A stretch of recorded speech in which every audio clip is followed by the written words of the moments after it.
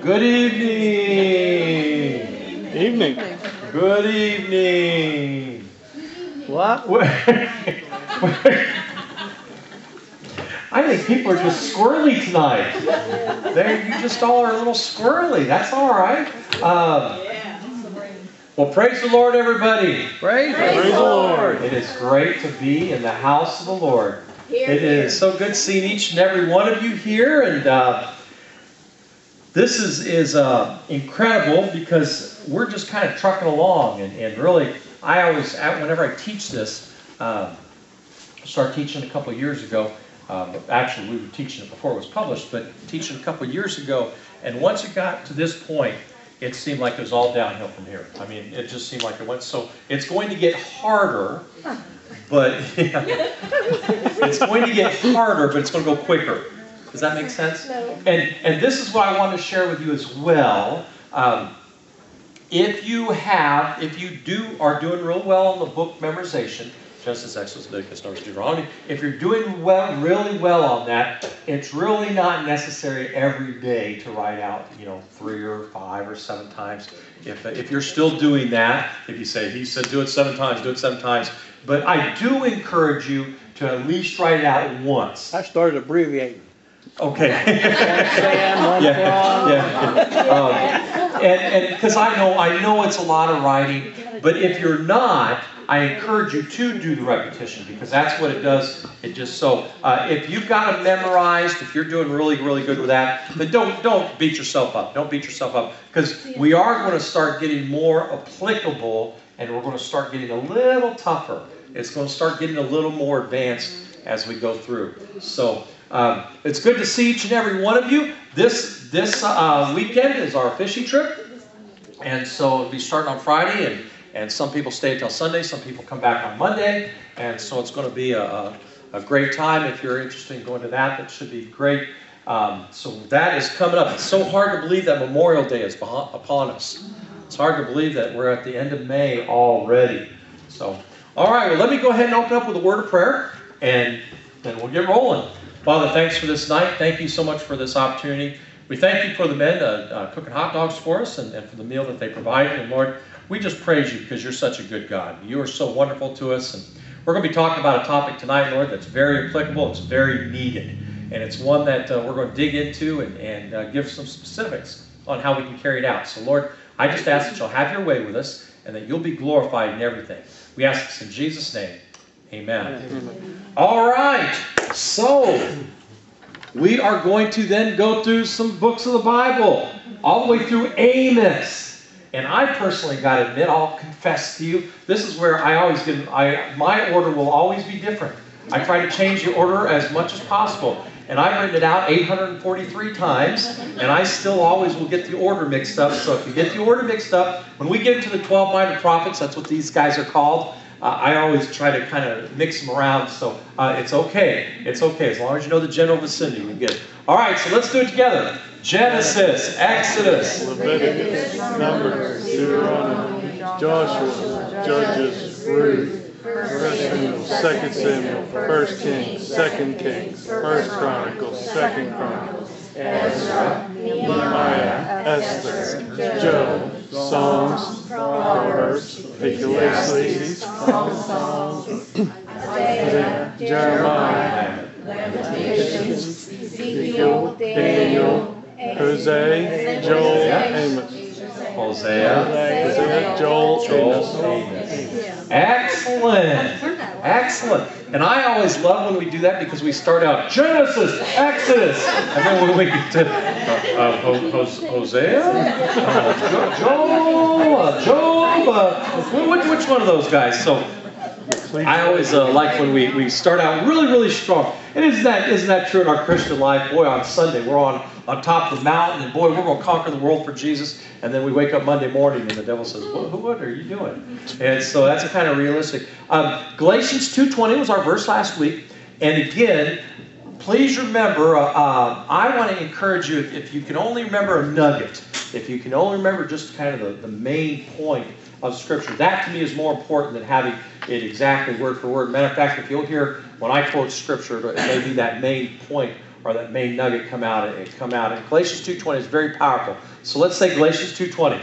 I have been crucified with Christ, and I no longer live, but Christ lives in me. The life I live in the body, I live by faith in the Son of God, who loved me and gave himself for me. Excellent.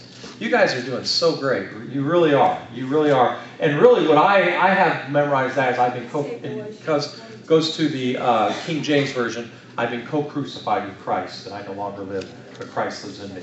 And so that's what I try to remember. That's that's kind of how I memorize that verse and things like that. So we're going to be talking about a topic tonight that's very, very applicable, and, and we all know it, but it's one that we as Christians struggle with. It, it, it's a tough one. And, and it, it's, it's one that, that we are commanded to do, as we're going to see, but also it, it's, it's one that it's easy to shrink away from, and it's one to kind of expect others to do it, or, or well, we pay a pastor, that's his job, or what we do is, is, is we kind of feel uncomfortable for various things. But we're going to be talking, we're going to be talking about different approaches. So let's look at witnessing. This week is witnessing. We are commanded to witness. We're saved. We have been saved from sin. So we no longer have to live in trapped, powerless lives. We no longer have to be subjected to the slavery of the evil one. We've been delivered. We've been rescued. We've been redeemed. This is good news. And really, it's not good news, it's great news. Now, when we have great news in other areas of our lives, we can't wait to tell others. And well, we have the greatest news. And we're not to keep that to ourselves, we're to tell others, we're to witness to them. We want them to be saved too. So, witnessing is when we're telling others about Jesus so that they can be saved. And, and really, it, it amazes me because uh, of social media, we have so much access now to talk about the good stuff. And, and the, the internet is a very interesting double edged sword because there's a lot of junk on it, but there can also be a lot of positive. And, and if every Christian just put everything positive on there, it would be very, very effective. And so we have an opportunity now to tell people what Jesus is doing in our lives. As God created the heavens and the earth, he could not resist the opportunity to proclaim the good news throughout his work. The universe preaches the gospel. All of creation shouts out the glory of God. All of God's handiwork speaks of his love and his redemptive nature. God wants us to know him, and he wants everyone to know him. And there's good news that's proclaimed everywhere in the creation. You guys should know this verse. We did 12 weeks of it, uh, six weeks. We did six weeks of the constellations. Psalms 19.1. Anybody remember that verse? The heavens declare the glory of God, and the skies proclaim the work of his hands. And that's what we talked about as we did the stars. And, you know, after, not, not to try to rush, but uh, when we do get done with our discipleship on Wednesdays, we're going to do comparative uh, uh, faith beliefs. And what, what, what do Muslims believe? What do Jewish people believe? What do the Buddhists believe? What do the Hindus believe? What does Scientology believe? So I encourage you, after we get through discipleship, we're going to go in depth and also how we as Christians can interact with them. And that's kind of a really fun study. We'll do that for about 10, 15 weeks. But anyway, uh, so everywhere, all you got to do is walk outside and see God's glory. All you got to do is walk outside and, and just, His beauty just is, is so incredible. And so um, the good news, is, it really is, the good news is constantly being told. Well, we know we've been given the Great Commission, Matthew 28 to 19 and 20, to go, therefore, go out to the nation and, and baptize them in the name of the Father, Son, and the, and the Holy Spirit, making them all disciples. We've been entrusted with orders to take the good news out to the world. Now, we've all been given this mandate, not just those who work in full time ministry, not just those who have seminary degrees or Bible degrees. We are to tell people about Jesus. Too many times, Christians have fallen back and say, Well, I can't talk about the Lord because I don't have a, some letters after my name. Or I can't talk about the Lord because I, I, I don't know that theological knowledge. Or I can't talk about the Lord because I don't know the big words. Yes, you can. And matter of fact, you're supposed to. It's, it's I've told you this many times before, but when I first meet people, uh, I rarely tell them I'm a pastor in the very beginning. Because as soon as I tell them I'm pastor, they become very religious with me. Even heathens. I mean, even the worst heathen. It's funny because I'll say, as soon as it comes out of a pastor, they'll say, oh, pardon my French. I'm like, that wasn't French. Uh, that was American. And quit using those words. And, and, and so, but they become, it's almost immediately as they find out a pastor, oh, I went to VBS when I was in third grade. Wonderful. uh, and, and so what we need to do is we need to think about how we need to witness. And so some too many times when, when I they know I'm a pastor, they set up a wall right away. And that's why it's funny, you know, when I do tours at the pen, uh, one of the first things I do is I say, you know, hey, uh, welcome to West Virginia Penitentiary. I'm C- my CJ, and I'm a local pastor here in town. And, uh, and it's very funny how the tours go. You know, uh, we have a good time. It's, it's amazing what a witness that has turned out to be in, in an incredible way. So this is what we need to know. Everyone, every one of us is to tell people about Jesus. Not just full-time pastors, not just those who've been to Bible college, everyone. Now, uh, we see that, that Mark 16, 15, it says, He said to them, Go into the world and preach the gospel to all creation. So all of us are. Now, it's understandable that witnessing can be intimidating. It, it makes sense that sharing our faith can be challenging. We may feel we're inadequate. We may feel that it should be left up to professionals. And that's a beautiful aspect of witnessing. We don't have to have all the answers. And I want to encourage that. Sometimes as Christians try to hide behind knowledge. It's okay to say, I don't know, but this is my experience. It's okay to say, I'm still learning that. Sometimes people will say to me, well, what about these questions that the Bible brings up? I'll say, that's good. Those are good questions. You don't have to have every answer. It's okay. See, we don't have to have an inside and outside understanding of systematic theology. We can tell people about what God has done in our lives. We can share how we've seen God. So witnessing is telling others what we have seen. Matthew 11, 4, Jesus replied, Go back and report to John what you hear and see. Jesus didn't say, Well, of course I'm the Messiah. Jesus didn't just whip them, Well, you have to believe. He said, What do you see? What do you see? And so, what has God done in your life? And, and you know, when I think about that, I, I was, uh, you know, grew up in the church, but I wrestled with that. Because one thing I got caught up in, I got caught up in watching people as a teenager. And I would see someone who was testifying on Sunday night, and we had on Sunday nights was our testimony time. I'd see someone testifying on Sunday night, then the next Friday I'd see them out doing things they shouldn't have. And so I thought, oh, as long as you behave during church, you can do anything you want. and so I really wrestled with it. And, and, and so, uh, of course, God spanked me often.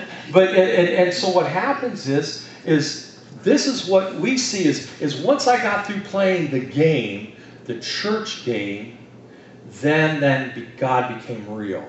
And God is here. And it became a relationship. He and I had a relationship. And, and I wanted our relationship to deepen and, and to grow close. And so before, even though I went to church, I didn't have that peace. I knew how to fake the joy. I knew how to do that, but I didn't have it. And, and so that's that's how that's what God in my life means. It means that I'm whole. It means that I have a purpose. It means that I have a peace. And so tell what has God done in your life? Maybe you struggle with something. Maybe you struggle with an attitude. Maybe you struggle with a vice. Maybe you struggle with an emptiness. Whatever it is, how has God helped you? And that's the important thing. When we're witnessing, we're, tell, we're telling people about the gospel. And the word gospel comes to us from the Greek word evangelion, evangelion which means good news. So the gospel is good news. And it is, the gospel, the good news is Jesus died for us, and we can have, when we have a relationship when we're saved. And the gospel is something that should excite us. It, it's something that put a, should put a little pep in our step. See, we're, we're actually, we're privileged to share this gospel.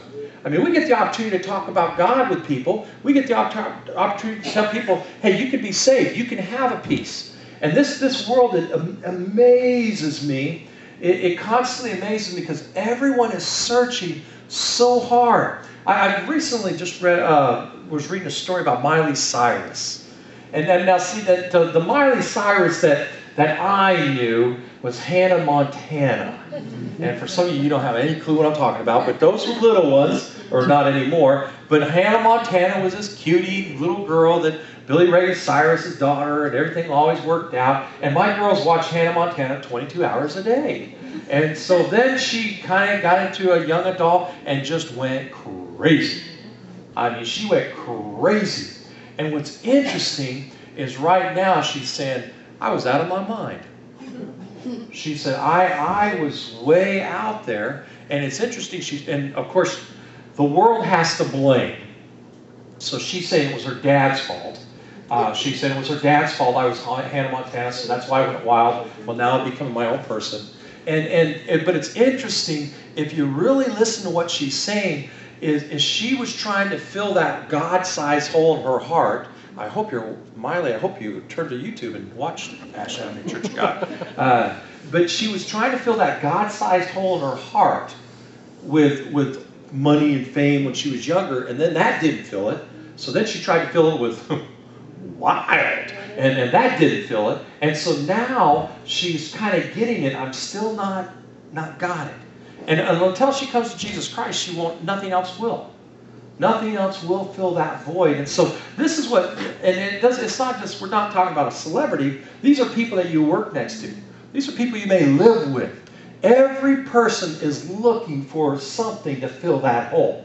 And so when we tell them the good news, we say we can help you with that. So we're privileged. That's a privilege. Romans 1:16, I am not ashamed of the gospel because it's the power of God that brings salvation to everyone who believes, first the Jews and Gentiles. So the and the word that I'm not ashamed, what that's talking about is, man, I'm excited. I, I, I the, the Greek words that are there are they're phrased in a way that's saying, man, you couldn't hold me back. You, you couldn't force me to sit down and be quiet because I am not ashamed of the gospel. I am going to tell you about what Jesus did. I'm going to tell you uh, about what He's done in, in my life. And so that's that's it's a privilege that we have. Now the Bible very plainly lets us know that we're responsible for sharing the gospel. The Bible doesn't merely hint at witnessing, or it doesn't try to supply subtle clues. The Bible outlines what's expected of us, and if we don't bring the good news, who will? If we're not doing our part, others may not hear the good news. Romans 10 14. How then can they call on the one they've not believed? And how can they believe in the one of whom they've not heard? And how can they not hear without someone preaching to them? Now, it would be wonderful if we if we just had a magic light switch that turned the light on and all of a sudden people said the church light's on let's flock to it it would be wonderful if, if people said, I got a problem, I got to get to God. It would be wonderful. It's not going to happen. As a matter of fact, many times when people have problems, they say, Well, I don't want to go to church to add to my problems. And so what happens is we need to be taking the word out to them. You know, if you look historically uh, throughout our country, you know, our country has been has gone through ups and downs, but around the 40s and 50s, especially, everybody gets religious during war time.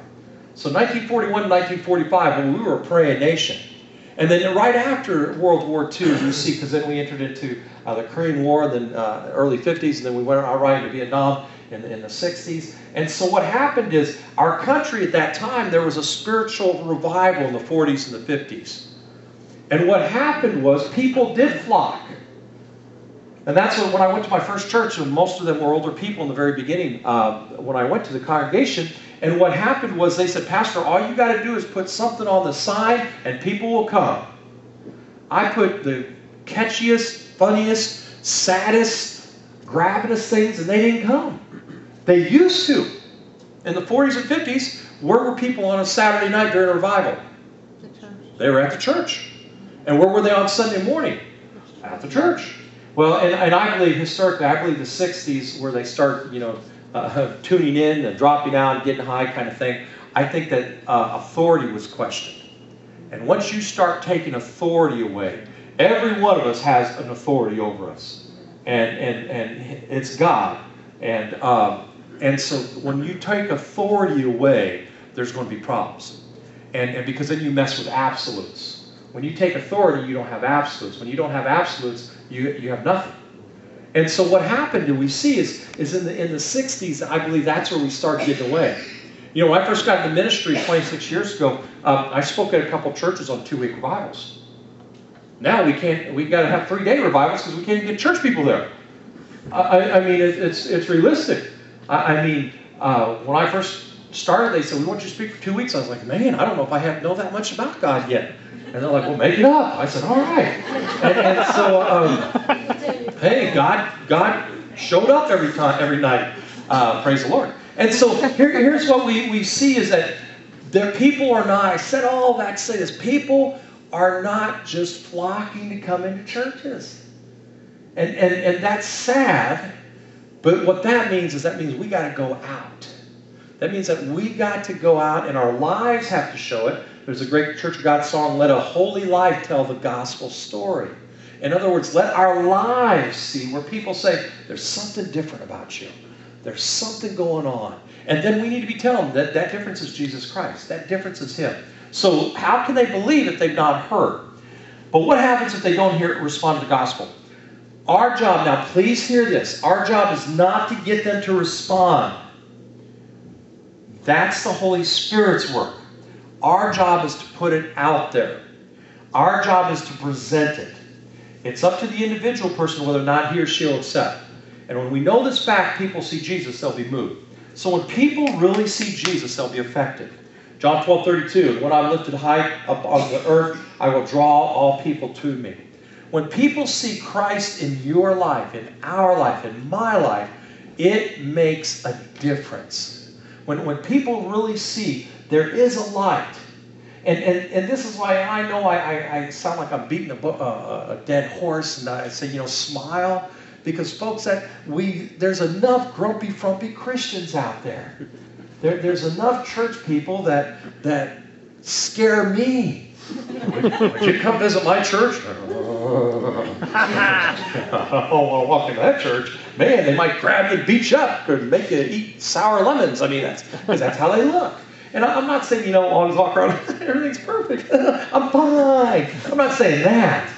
But when we go and, and our lives are filled with that peace and that joy, it makes a difference. Because it does not matter what comes out of here, it matters what people see here. It matters what they see in your life. And so that's why I, I, I encourage us, you know, folks, live in a relationship with Christ. Uh, and we're not perfect, but living that relationship with Christ where we're drawn closer and closer to Him. People will see that. We should know why we ask the Lord to come into our life we should be able to articulate how we're saved. That's why we do the very first lesson is salvation.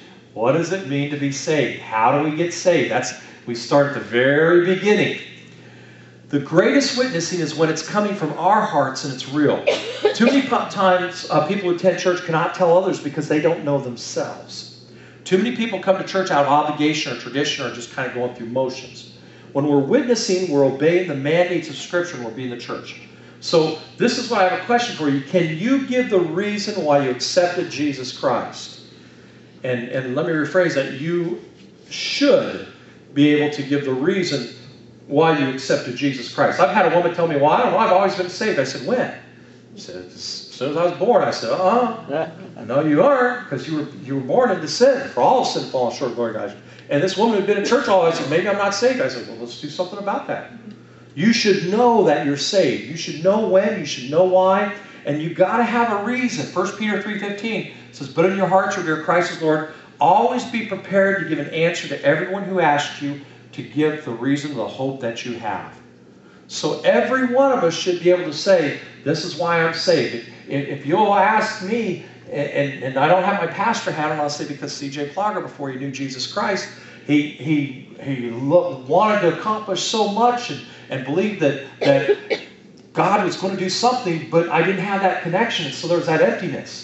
So the harder I worked, the more empty it was. And it wasn't until I said, okay, God, I'm yours, then God says, now I can start using you. now I'll take over. And, and, and that's what I, I can name the time, I can name the date, I can name the place, I can name the area of sand that Janine and I were laying on. I, I, I, can, I can see the dog next to us. I can tell you the car I drove because that was when, and, and all through my life, I've been in church all my life, so, you know, I, I went to the altar a hundred times. But that night, that night, 27, 28 years ago, that night I says, you got everything. Everything. And I said, just one thing, Lord. Please don't let me be a pastor. then- And and then that Sun- that took it to a Sunday- Sunday is when a minister, Janine and I are walking into Pomona First Church of God, and there's an African American, Jerry Liddell, and he comes up to me. I never had seen him before, and he says, "Now that you're ready, I want to start training you." I said, "Who are you?" He said, "Doesn't matter." Every Friday we met. He made me memorize chapters, not verses, chapters. After one year, he said, "I've taught you all I can. Now you're going to go to seminary." I said, Who are you? he said, Doesn't matter. Doesn't matter. And, and that's my journey. That's my journey. And, and so, you, what is your journey? I mean, why did you come to the Lord? Why did you, why did you need Him? What was going on? So, here's what questions, and, and these are very important questions. Do you know that you're saved? First of all, do you know that you're saved? Why can you say, I am saved? And if you can't, go back to chapter 1. Go back to, to week 1, because we that's what week 1 is all about. Uh, week 1 of the discipleship is, is go back. Make sure you know why you're saved. First step. Second step, day 2, our testimony. A partial definition of the word testimony is a declaration by a witness. So a testimony can be brought forth in a court of law.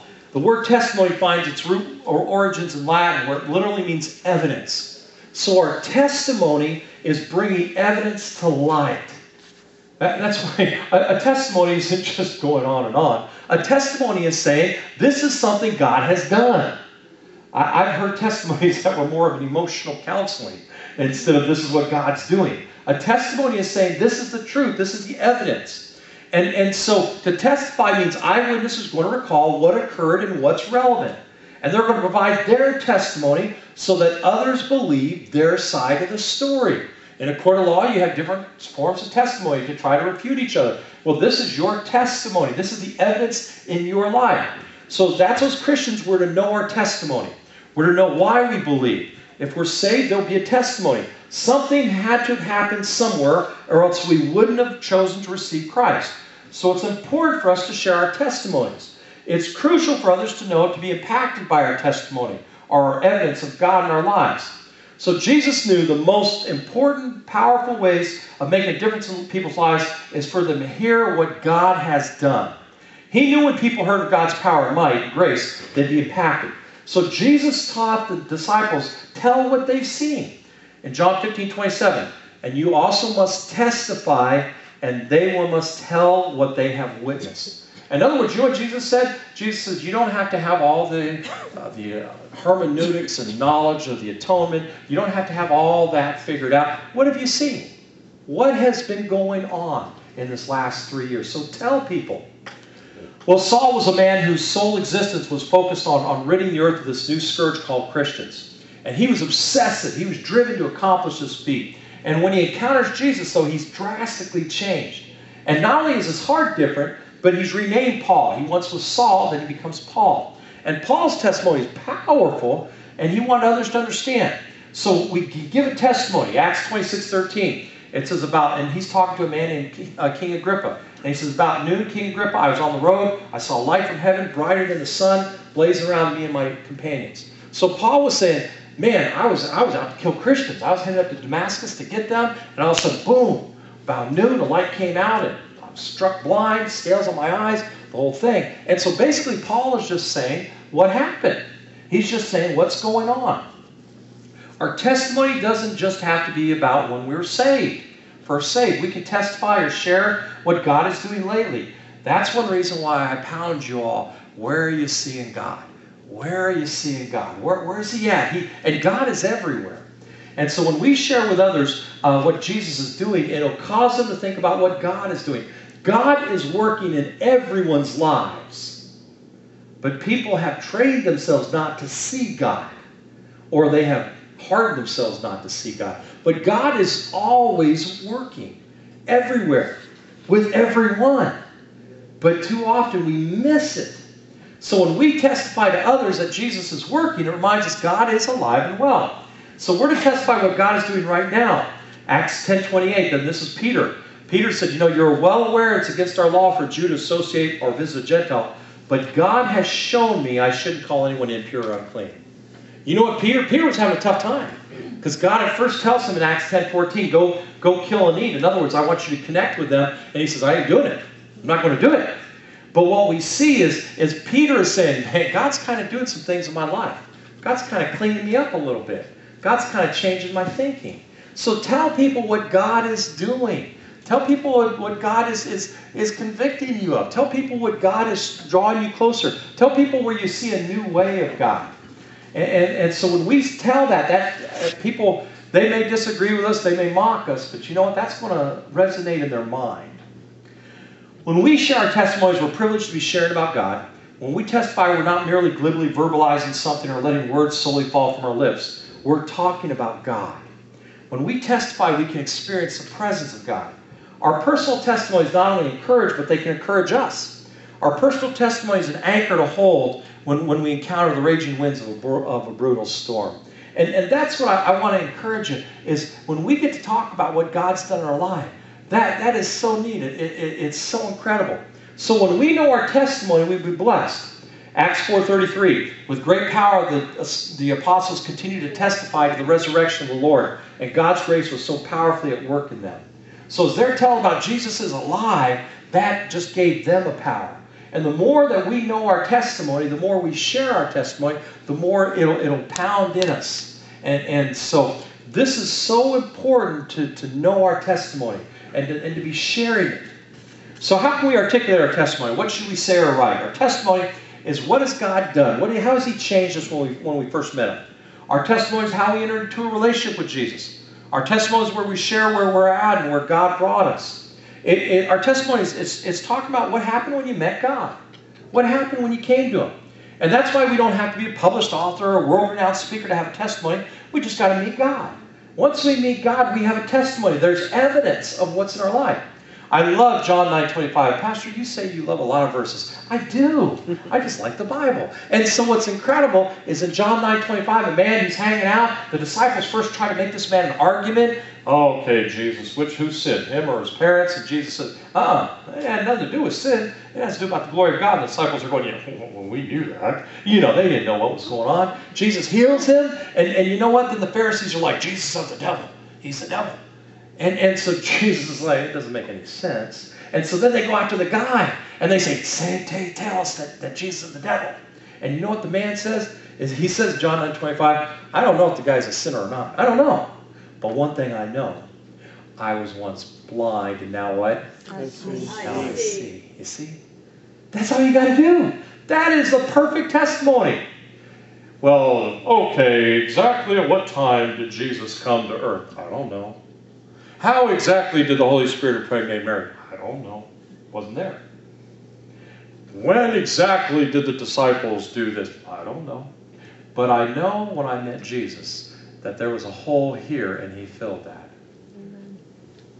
this guy says, I don't even know if he's a sinner or not. but I do know this. I once was blind, now I can see. And so that's what I want to encourage us to do is that's that's your testimony. What happened before you knew Jesus? How, how did you come in to know him?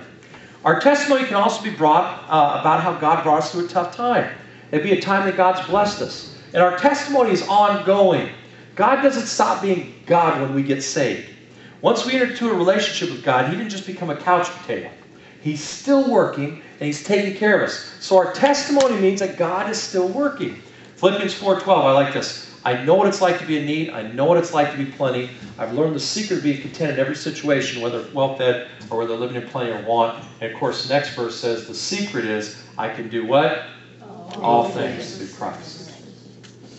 It's crucial to understand that our testimony is not just spoken or written. Our testimony is lived. Our testimony is witnessed. And it can come out of our it can come out, it comes out in our words or actions, but our lives can be great testimonies or terrible ones. So it doesn't matter what we say if people see contradictions in our life. So please remember, our lives are the testimonies. It's very easy to say this. You know, a lot of time when I do marriage counseling, people say, "Well, I love, I love my wife, I love my husband." I'll say, "Then you do this for them." Well, I'm not going to do that. Then you don't love them. You don't love them if you're not willing to do something. If you're not willing to die for them, husbands. You know, us husbands, we like to beat you women up. Ephesians 5:25. Wives, submit to your husband. I think that's the only verse most guys learn as they're growing up. And, uh, and so they pound them in that. Uh, why, you woman, you got to submit. But we always forget Ephesians 5.26, which says, Husbands, love your wives like Christ loved the church. He died. And this is what I tell men. Your wife will submit to you when you die to her. Ooh, get awfully quiet in here, but it's that's biblical. And and so what happens is is that's what remember our lives are testimonies. Colossians 3:22. Slaves obey your earthly masters in everything. Wow. In everything we are to obey. And do it not only when their eye is on you to curry their favor, but with sincerity heart and reverence for the Lord. And it goes on the next verse to talk about because what we do, we're doing for the Lord. We're working for the Lord. So on day two, oh, I'm never going to get through this lesson. Day two, write out your personal testimony. So write out your personal testimony, and this is very important. Of how many of you have actually don't don't get mad, Chuck. You don't have to. He, oh, well, let me tell you. Let me tell you my testimony before you go. He said no one. All right. How many of you have have written out your testimony? Uh, a few. So I want to encourage you to go back and do it again. Go back and do it again. And if you, I hope you still have it. Um, I, my testimony is all written out. And one thing I do is I tell ministers, write out your call into the ministry because there's times when, when you are going to want to do anything else than be a pastor. And there's no times that you pull out that call and you read it and you say, I don't have a choice. And um, I have it in, in, my left drawer. I always have. Uh, and I haven't at Ash Avenue, but there's times when I pulled that dude out and thought, man, I, I sure would. Anyway, um, so, but write out your personal testimony. Write it out. And, and, and then write a testimony of what God's doing in your life now. How is He blessing you? How's He challenging you? How are you growing? And, and, and this is, when you do that, that's when you realize where you're at spiritually. Because really, it's hard to gauge where we're at spiritually. Physically, we know where we're at. We step on scales, we tell where we're at. We go to the doctor, we get our numbers, our blood work, we tell where we're at. Emotionally, you can really kind of tell where you're at. But spiritually, the only way really to tell where you're at is to tell where you've been. And so, what I want to encourage you to do is write out what God is doing in your life. Okay. Um, oh, we, we forgot the, the, the, like I said, this lesson is so good. We forgot the memory verses. Uh, the memory verse is a, is a good one. John 12 32. When I'm lifted up from the earth, I'll draw all men to myself. It's only one line long. I know, I know. And, and, but then you've got to write out the first 33 books of the Bible.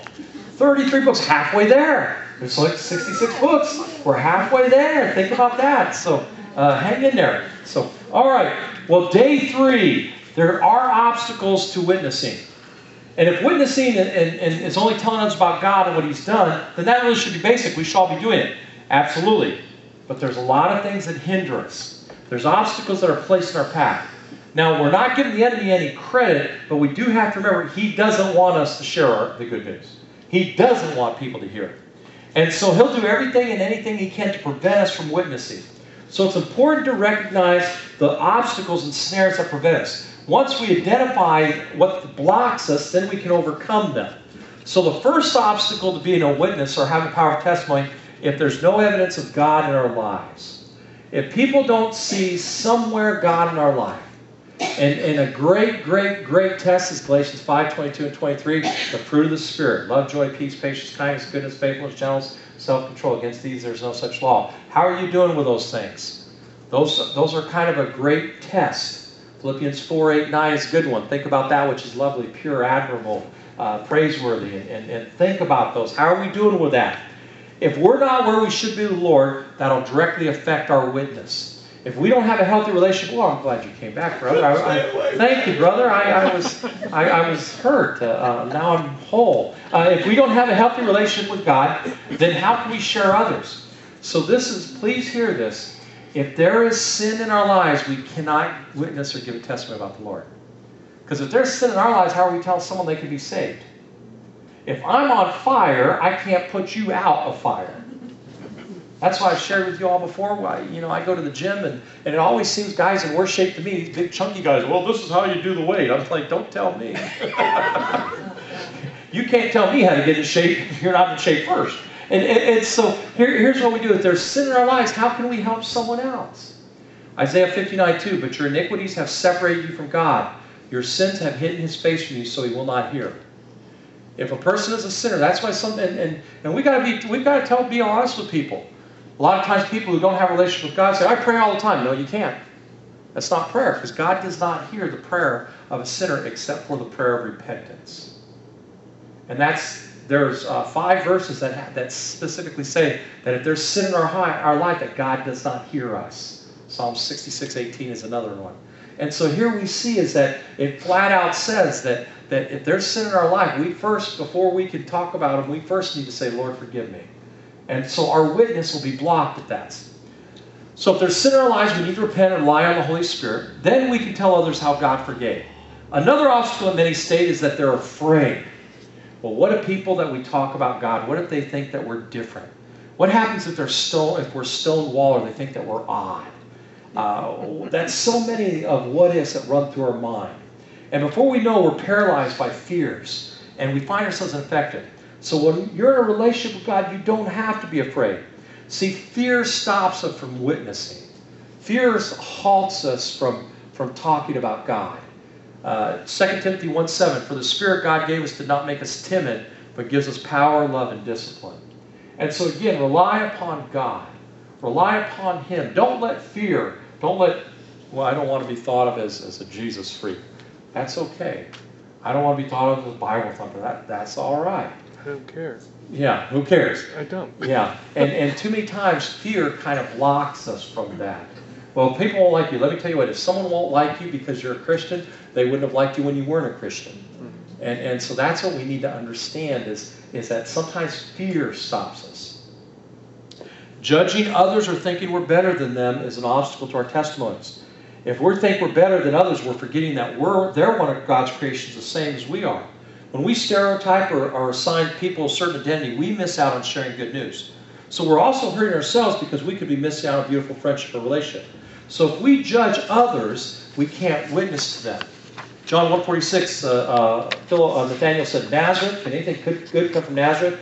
Uh, Nathaniel asked, and Philip said, come and see. I love this. Philip didn't say, Philip didn't argue with him. Philip didn't say, you gotta, you gotta understand. Philip said, just come and see. Come here and see. And I want you to see that Jesus is a real thing. And so sometimes we see someone say, oh, they're, they're a dirty, rotten, scoundrel sinner. They'll never come to the Lord. Ah, be careful. Those dirty, rotten, scoundrel sinners can be the best Christians in the world and great witnesses. And so sometimes we're, we're, we're, we judge people. Well, they don't think like this, or they don't act like this, or, or look like us. And so we, we don't want to we don't want to witness to them. You, you know, well, witness to them. Witness to them, because God will do some incredible things. Well, when we think more of ourselves, that also blocks us from witnessing. If we feel we don't deserve what we have uh, to share, then we're hurting ourselves. The, the worship pastor at my last church, he gave me this definition of pride, and, and I had to, I said, I'm going to give you credit. And so uh, I gave him credit, and he came up with this definition. He said this Pride is self exaltation at someone else's expense. Isn't that fancy?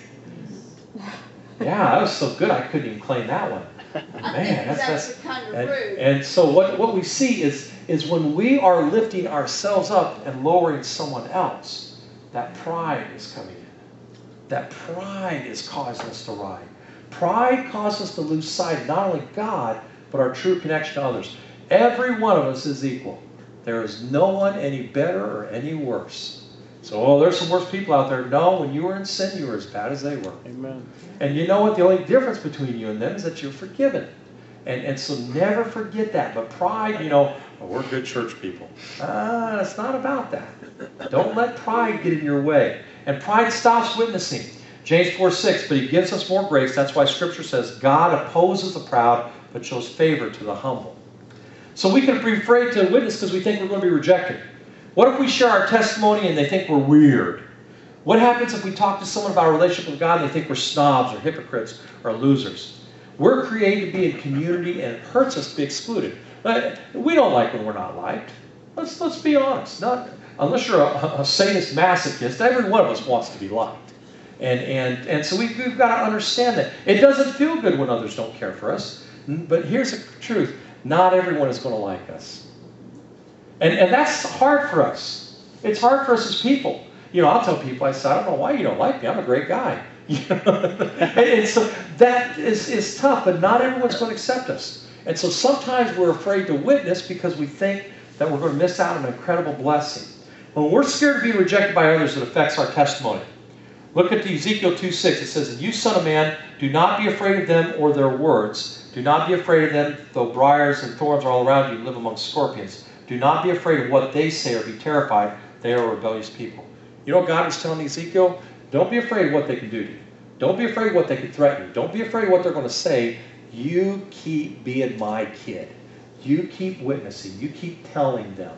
And how true that is. So, so yes, we're going to be rejected. But you know what? Even when we weren't Christians, we were rejected, right? I mean, think about it. We forget about that. But remember, it's better to be received by Christ and embraced by Him than, than it's better to have that than just to rely upon our, our wanting to be liked and, and not be rejected. So let's remember that we're, we're seeking to, to have Him, Him uh, wrap around us. Well, another obstacle that detracts people from witnessing is a fear they don't have enough knowledge to witness. This is probably the biggest one that I see. It's too many times people say, Well, I just don't know what to say. I, I don't know enough of the Bible. I don't know enough of this. And so, what if I, I don't know the answer to the question? What if someone asks me about the Levitical duties of a priest and I don't know? That's okay. That person won't believe anything else I have to say. See, we worry and concern ourselves about what we don't know more than we realize how much we do know. The main bulk of our testimony is not based on our grasp of biblical knowledge, it's on our God knowledge. Simply tell people about what God's done in your life. Jesus pointed out to Nicodemus he was relying on the wrong knowledge. I love this. In John 3.10, uh, Nicodemus said, you got to be born again. What are you talking about? And Jesus said, you're Israel's teacher. And you don't understand this? In other words, Jesus was kind of slamming Nicodemus saying, ah, you're trying to rely on all of that when I'm just trying to tell you you just got to be born again. You see, sometimes we get it so, so we make it so complicated. Here is the gospel. Jesus Christ loves you. He died for you. And if you'll confess your sins to him and believe in your heart, Romans 10, 9, and if you will live a life in a relationship with him, that's all right. That's it. That's it in a nutshell. All of us know that. And so, and what has he done in your life? So let's remember, living how we live can obstruct the effectiveness and power of our testimony. If we're not walking what we're talking, it'll be apparent. Our words must match our actions, and which must match our hearts. All these must match God. So the greatest testimony is a godly life. So let's live our lives so it doesn't take away from our witness. 1 Timothy 4.12 Don't let anyone look down on you because you're young. But look at this. Set an example for the believers in speech, in our words, in conduct, how we act, in love, in faith, and in purity. And so our lives our lives will tell the whole lot. They tell everything. So let's be real. And this is between you and God. Is there anything blocking our witness? Is there anything that we talked about? Is it maybe a fear of being rejected? Maybe it's a fear of we don't know what to say. Maybe there's something in our heart we've not turned over to God. Um, whatever it is, is there anything blocking our, our witness, hindering our witness? What are we going to do about it? And I ask that question with not a rhetorical uh, when we get around to it, but what are you going to do about it? Whatever is holding you back, give that to God. Give that to Him. Day four, approaches to witnessing. There's many ways of witnessing and sharing our faith. And we mentioned some of them before, but today and tomorrow in our study, we're going to be looking at practical and applicable ways. So I'm going to give you some nuts and bolts. This is this is is, is the practical stuff to do. So when we've learned we're supposed to witness, so I, I please, I please, please hear, every Christian is to be telling their testimony. Every Christian is to be telling others about God. Every Christian. And so now we're going to examine how can we do this. Not every approach will work with every person. We're all created unique and, and different. One approach may reach someone while, while someone else, while another approach, reproach, approach may repel them.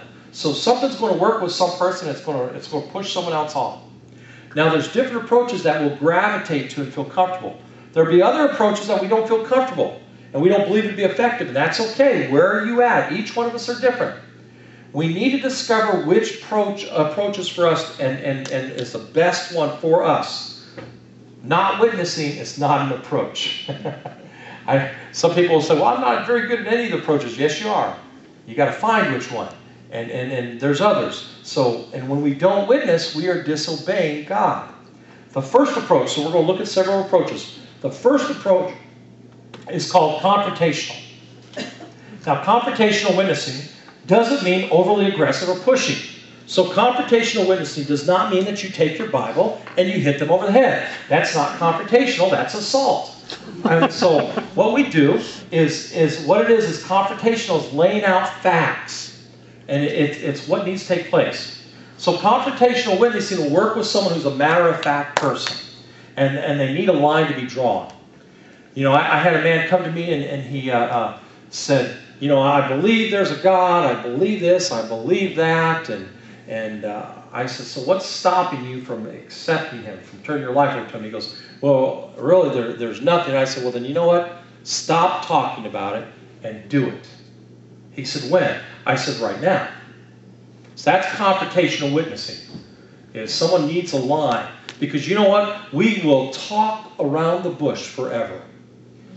You know, when people are turned 15, they'll get saved when they're 16. When they're 16, they'll get saved when they're 21. When they're 21, they'll get saved when they're 25. When they're 25, they'll get saved.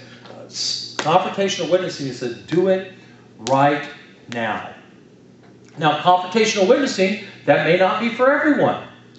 And they may feel pressure. Remember, not every approach works for every person.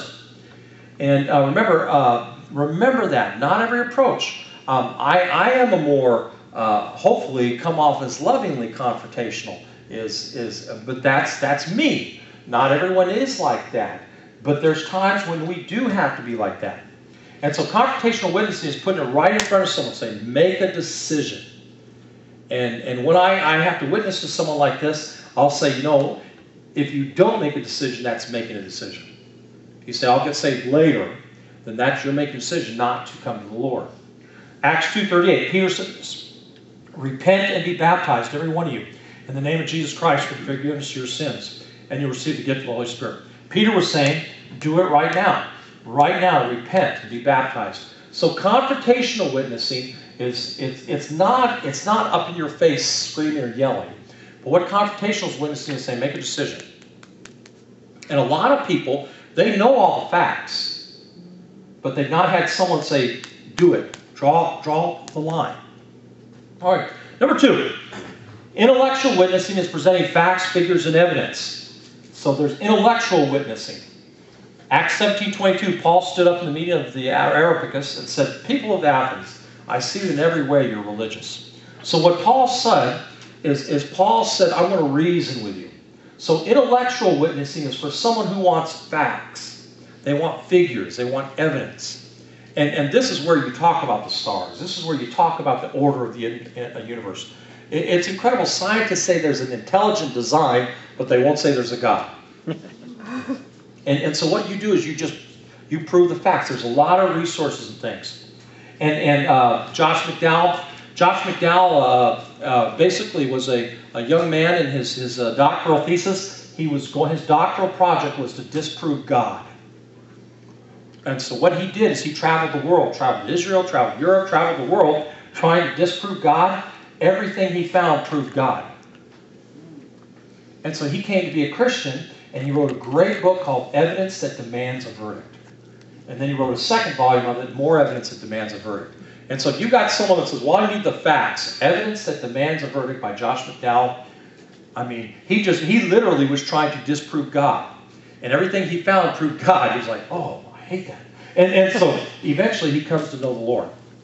So maybe you know someone who's got who give me the facts, figures, and evidence. And they'll they'll always throw up, you know, well, why are bad things happening? Or you know, a lot of times our people will say, well, why why is you know how, how can you have a Hitler if there's a, a God? I'll say you can't have a Hitler if there if you don't have a God. Because if you don't have Hitler was the absolute evil, if you don't have a God who's absolute good, then absolute evil would be normal. And that's that's what I, I want people to see is, is that's how you have to talk intellectually with someone. Is you can't just say, well, just believe it, because they're not going to. So you got to prove the facts. This is a powerful one. Testimonial witnessing is where you're telling others about what you've seen, about where you witnessed God in your lives. We're letting them know God is real because we've seen God move. We know for a fact God exists because we have proof in our life. Testimony witnessing is personal and may not work for everything because we experience things different, but it's very effective if you're sincere. So personal personal testimony is, is again, that gets back to knowing your testimony. Testimonial witnessing is just saying, hey, this is where I was at. Man, I was working hard, making great money, but you know what? Every every dime I made, uh, it didn't it didn't empty the thing. Every car I got, I still had that emptiness. Every job promotion I got, I still knew I was missing something. But when I came to Jesus, you know what? I have a peace. I have a wholeness. So John 9:21, gets this gets back to the blind man, but he can see now who or who opened his eyes, we don't know. Ask him he's of age, he'll speak for himself. You see, because the Pharisees went to the parents and they're like, Tell us about your kid. What dirt can we get on your kid? And they said, Ask him himself. So testimonial witnessing is what has God done in your life? What, how God has God moved? Now, interpersonal witnessing is when we're connecting and interacting directly with an individual. We're taking time to be with them. We're getting to know them. We're letting them know our hearts and getting to know their hearts. Interpersonal witnessing doesn't normally take place overnight. It takes a while to connect and enter into someone's world. A great way to witness interpersonally with people is to find common ground. Find something each of you are interested in and pursue it while waiting for opportunities to talk to the Lord. There was a, a man that uh, in Illinois that he and I went fishing for a long time, and it was funny because after about four or five months of fishing, he turned to me and he says, "You know what?" He says, "I'm kind of mad at you." I said, "You are? Why is that?" And he says, "You're a preacher." I said, "Yeah." And he says, "You don't talk to me about God." I said, "Okay." He says, "I need God." I says, "I know." He says, Well, then talk to me about God. And so there on the lake, I led him to the Lord. And I'll tell you what, if I would have done that the first day, he would have never gotten to a boat. If I would have done it the second month, he would have never gotten a boat. But what happened is he got to know me. And, and that's why when I got a hook caught in my finger, and yes, even us good fishermen do that every now and then. Not Tom, but I do every now and then. And, uh, and you know what? That's why I went, and he said, Oh, are you going to cuss? I'm like, I want to. I really do. But I can't because God won't let me. And he laughed. I'll cuss for you. Okay. so interpersonal relationship is, is you're just getting to know someone. And, and most people, again, I, uh, it, it ha, it's happened time after time. Most people say, Aren't you witnessing to me? And I'm thinking, Yeah. I am, but you don't know it. And, and so that's a great, great way. So it's meeting a person where we're at. Luke 5 4, when, they, when Jesus finished speaking, he said to Simon, Put into the deep water and let the nets down for a catch. Because remember, they had been out, they hadn't caught anything all night. Jesus met them where they were at. They were in the boats. Go out a little bit farther. Put out. Boom. And so you may be interpersonally witnessing. That's why remember your witness. Remember, when they're complaining about something, don't jump in because you're witnessing. You don't have to complain with them. Make sure that that uh, you know you're you're telling them, yeah, that's a tough situation, and I get to it by prayer, or I get to it because I know God's here. So you, you can do those kind of things, but if you're if they don't see a difference between you and them, why should they come to know Jesus? Invitational witnessing is when we're inviting someone we're offering them to come somewhere where they'll hear the gospel. When we invite someone to church, uh, we're witnessing to them with this approach. And it doesn't necessarily need to be religious. We can invite them to our homes or a movie or a sporting event. Then during that time, we invite them to meet Jesus. Now, this approach, this is different than confrontational because a person doesn't need to make a decision at this time, but have time to process it and choose whether or not. And, and so invitational is, is when we're basically inviting, we're saying, you know what? It would be good for you to come to know the Lord. Or I know God would fill that hole in your heart. And that's kind of invitational. You, you, you do it where you spend time with him, you kind of invite him in. In John 4.39, many of the Samaritans from that town believed in him because of the woman's testimony. He told me everything I did. So what happened is, is remember the woman at the well? She goes back, tells the Samaritan people, they come back. Not everyone got saved, but many, many did. So invitational is when you, you, you say, hey, would you like to know the Lord? And, and this is why I want to encourage you sometime. Uh, you all can, can maybe you're, you're in, in the sanctuary and you see someone that's the Holy Spirit is talking to. There is nothing wrong with saying, Would you like me to come pray with you? Or is there anything I can pray about? You don't even have to bring them to the altar. They may not even feel comfortable doing that. But that's invitational, is where you are basically inviting them. You're basically connecting with them. And they may not at that time. They may not, but you're, you're offering it. Well, there's an approach to witnessing that doesn't even include words. We can witness to people through serving them. When we do something for nice for something for someone else, it impacts them. When we give, especially when we're not demanding, we can make a great difference. There's countless people who come to the Lord because they were served in some manner. How many of us came to the Lord because in some way, somewhere, someone served in some manner? Probably uh, most of us, or a lot of us, someone served. Could have been an old Sunday school teacher.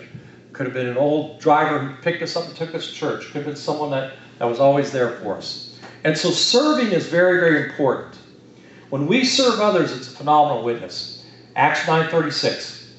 In Joppa, there was a disciple named Tabitha. She was always doing good and helping the poor. You see, by her life, people saw God. Well, then the last approach is relational witnessing is connecting with someone on a deep level. Witnessing to someone as we've had a, a relationship is powerful. If we have a relationship with them, we'll be able to speak into their lives. We may be able to ask them hard questions. And, and this is, is very, very close to interpersonal witnessing, but it's a lot deeper. And like interpersonal witnessing, relational witnessing is not going to take place overnight. When we first build a relationship with someone, we're making a statement. We value you. And you're not just a number to get people saved, quota. Relational witnessing is where we're real with each other, to be honest.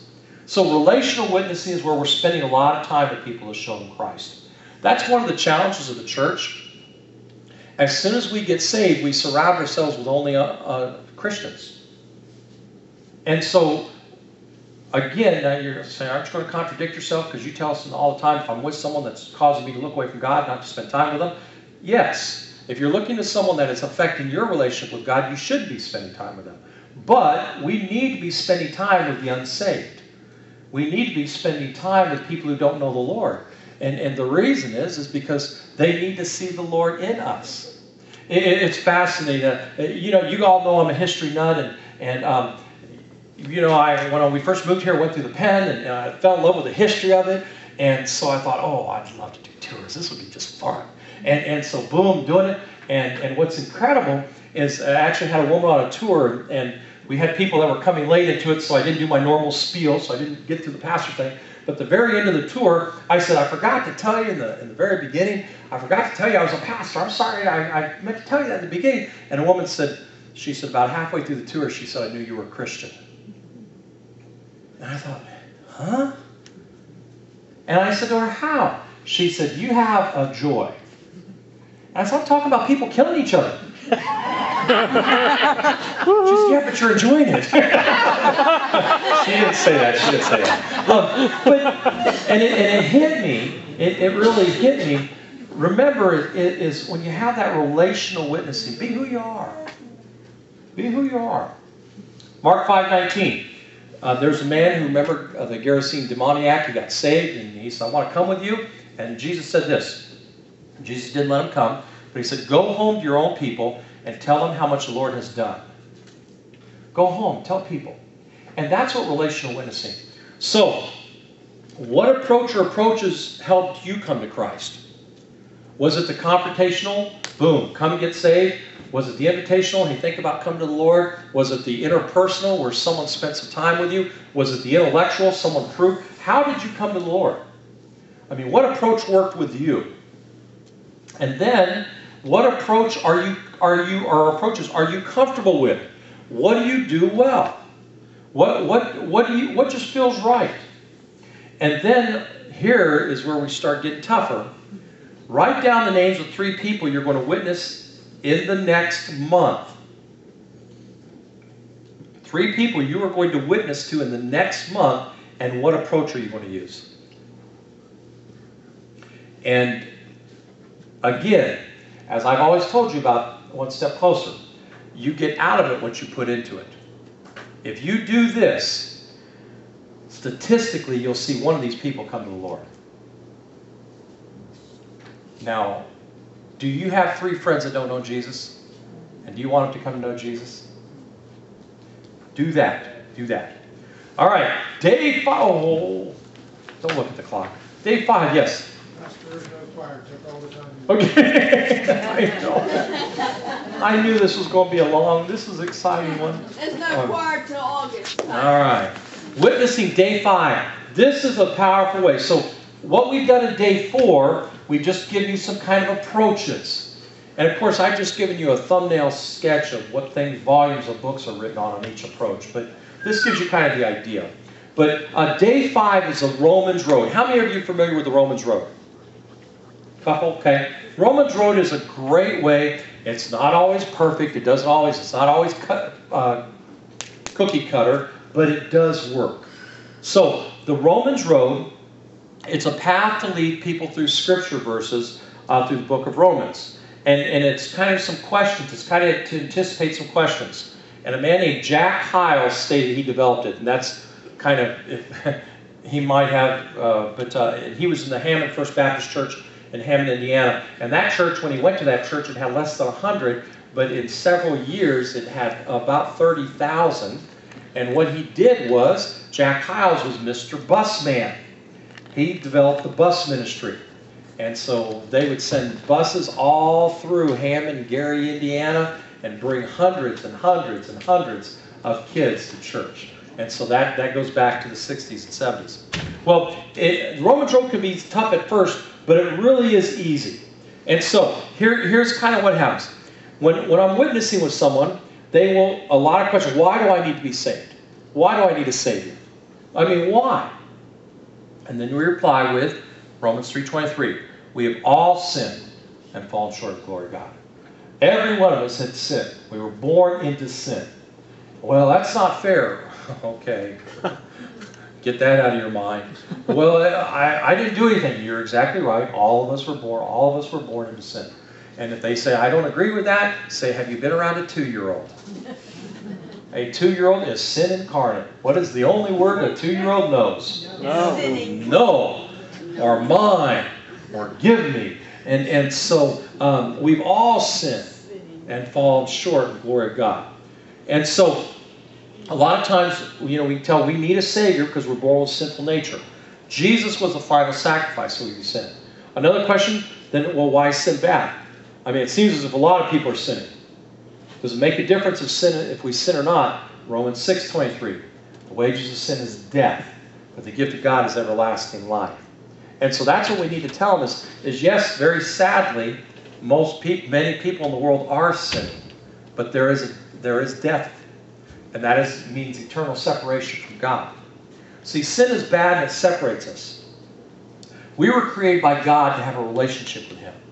And if there's sin in our lives, it severs that. So if we're choosing to sin, we're choosing to reject God and be dead forever. And so if we choose to receive the gift of God, we'll have eternal life. And then a question may come up well, why does God care for me? I mean, why would God care for my eternity? We can reply with Romans 5 8. But God demonstrates His love for us while we were still sinners, Christ died for us. God loves you no matter what. And this is where I, if I'm using the Romans Road, this is where I pound the fact God loves you. And, and, and we get, well, I don't deserve that love. You're right. Well, I can't earn that love. You're right. But God loves you. And God not only cares for us, but God loves all that is His.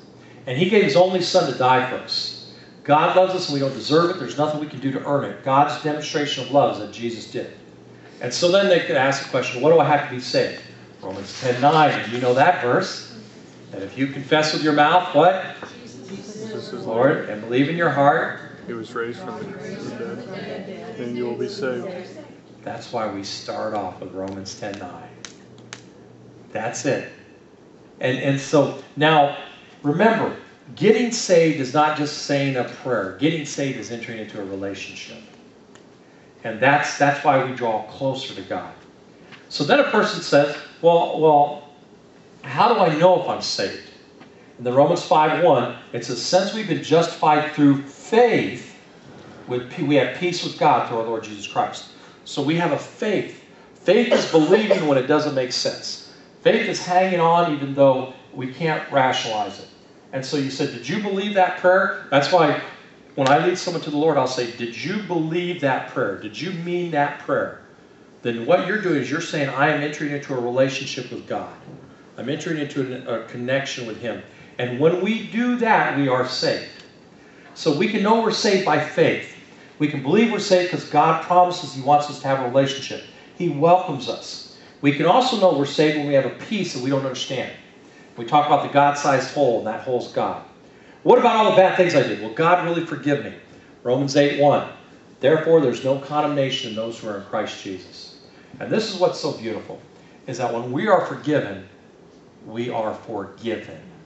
When God forgives us, it's gone. Something many Christians wrestle with is forgiving themselves. And when we wrestle with that, we're telling God that He didn't forgive us. So we are actually slamming God when we don't forgive us. You don't know what bad things I did. No, I don't, but I know God forgave you. And if God forgave you, then how dare we pick it back up? If God forgave us, who makes us saying that we should still feel bad? You know what we're doing? We're saying we're bigger than God. It's a tough one for us as Christians. We, we like to, to beat ourselves up. Let it go. The stinking devil makes you remember. The stinking thinking of the devil. And what you do is you say, No, I've been forgiven. It's gone. It's, it's you know, I get verses uh, cast as far as for the east is from the west, Psalms 103, 12, you know, I, all those verses. So it's, it's, it's gone. So when we ask for forgiveness of our sins, God promises He'll forgive us and forget our sins. And so then what if a person says, what, what does it mean that I'm saved? And then you tell them this Romans 8 38, 39. I'm convinced neither death nor life, neither angels nor demons, nor the present nor the future, nor any powers, height or depth, or anything else in all creation will be able to separate us from the love of God that's in Christ Jesus. So when we're saved, we are never separated from Him. We are in that relationship with Him. We are connected with Him. And you know what, in a relationship, think about your human relationships. You, you know, I, I think, uh, I, I believe that God gives us marriage for, for the opportunity to, to learn more about God because there's times when, when my wife, she loves me with, uh, with all of her heart, but there's times she just doesn't like me. and that's hard to believe because I'm a great guy. I know, I know. And I'll tell her, I'll say, she'll say, I, I love you and I would die for you. She said, but go in another room. you're, you're like killing me. And, and you know, of course, my spiritual gift is I'm on your last nerve. I want to step on harder. And, and, and so, you know, this is this is the thing. Relationship, even even human relationships, we're going to get on each other's nerves. Mm-hmm. But you know, we keep loving each other, and we keep learning and growing together. And there's going to be times God. That's why God has a flat head.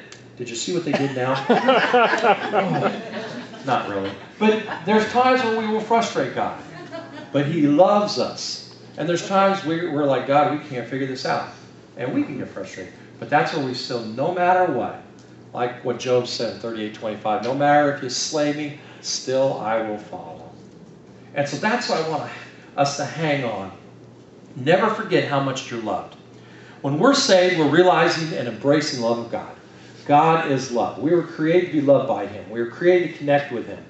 So, do you want to receive that love? Do you want a relationship with God? So, the Romans road is actually pretty confrontational. Remember the approaches? Because it really is kind of here's it, and it's it's intellectual as well. It, it, it kind of says here's facts, and now make a decision. And there may be other questions, and the Romans road is not perfect. If you if you memorize all those verses and wait Okay, ask me the questions. They're going to ask you a different question. That's where you're like, oh, I don't know, but let's oh, wait a minute.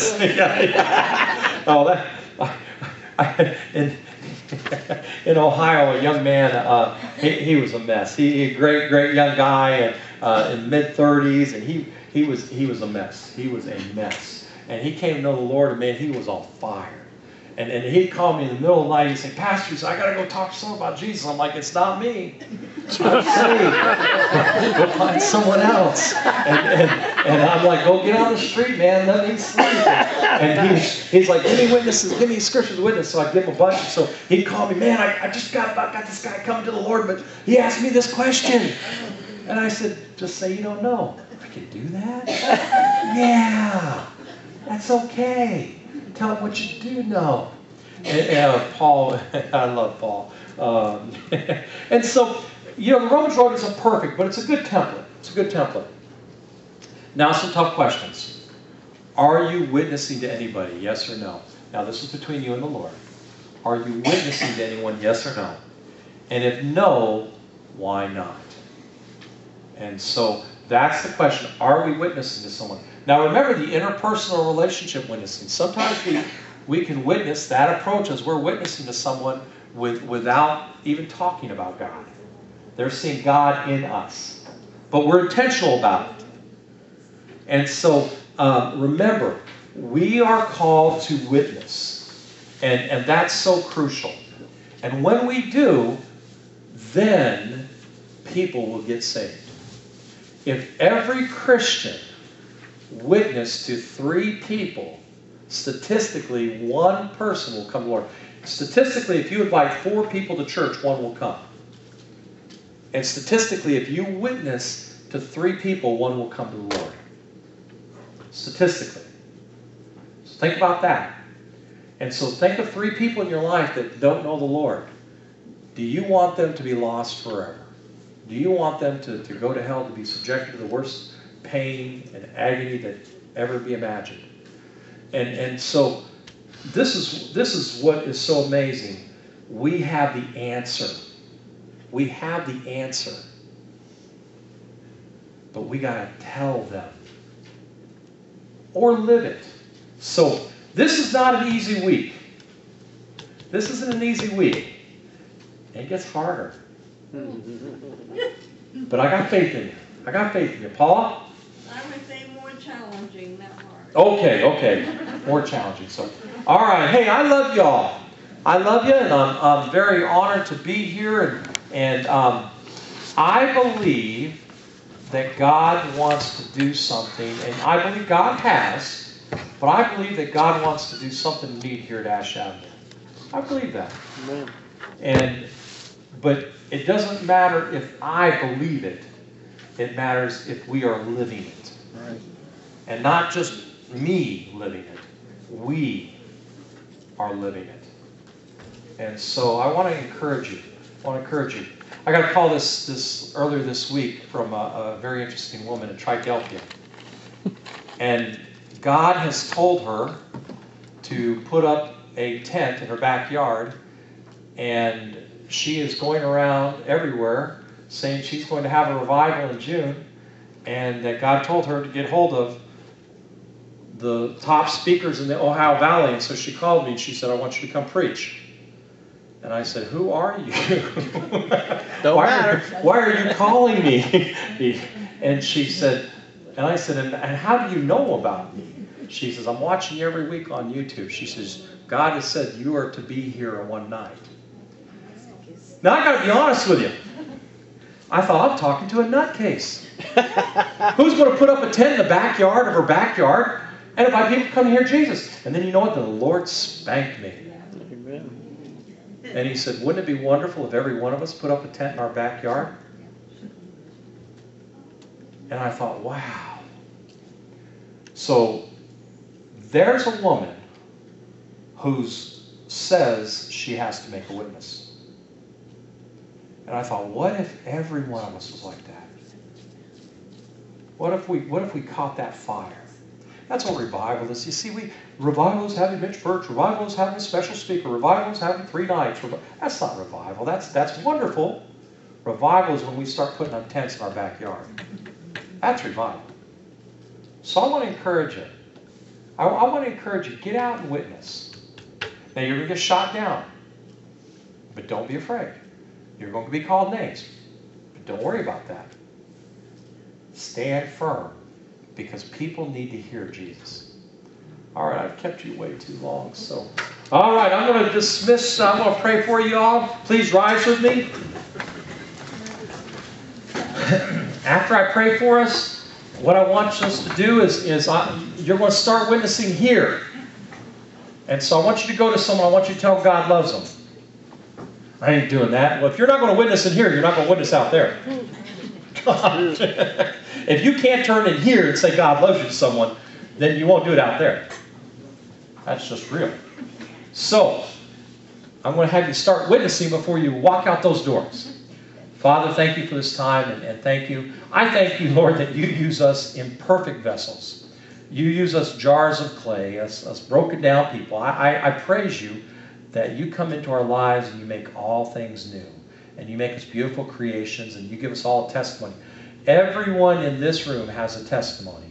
Everyone in this room has can tell how we came to know you. And, and Lord, I ask that you'll be this week with my brothers and sisters because as they write things out, as they as they think about it, as they process, I I know, Lord, that it's, it's going to be uh, stretching for some. And Lord, also I ask that we witness. May we be like the woman putting up a tent in her backyard. May we be that which says, I'm going to make a stand for Jesus Christ. And may we be telling people about you because people need you. And that's why we're here. That's why the church is here. The church is here. We are the church to let others know that God loves them. So, Father, bless my brothers and sisters. I ask, Lord, that uh, when the enemy comes against them, that, like we talked Sunday, he's defeated. He has no place. I ask, Lord, that, that you'll be with them in a very special way. I ask, Lord, that you will wrap your arms of love and encouragement and strength around them. And Lord, I'm excited about what you're doing. And, and Lord, uh, let it let revival begin, and let it begin in me. Let it begin in each one of us. Let let that holy fire catch us ablaze, and let us turn to you. And it's in Jesus' name we pray. Amen. Amen.